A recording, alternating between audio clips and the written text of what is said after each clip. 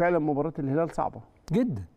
جدا. جدا لأن الهلال خلي بالك واخد كان الأمور جد جدا. امم وكانت باينة من أول ثانية طريقة التعليقات والإعلام والكلام ده. آه فما بالك هو داخل وعنده فرصة مهما بدأت الفرصة اتنين لواحد لكن في فرصة فرصة صحيح. موجودة وبقوة. آه يكسب يصعد. آه فمش معقولة. يعني هو عارف هي ماتش واحد وبعدين هنا أرض هتبقى كويسة آه بإذن الله جماهير منضبطة آه ما عندوش شد وضغط. ما لا يعني الأجواء هتساعد على لعب كرة القدم. مم.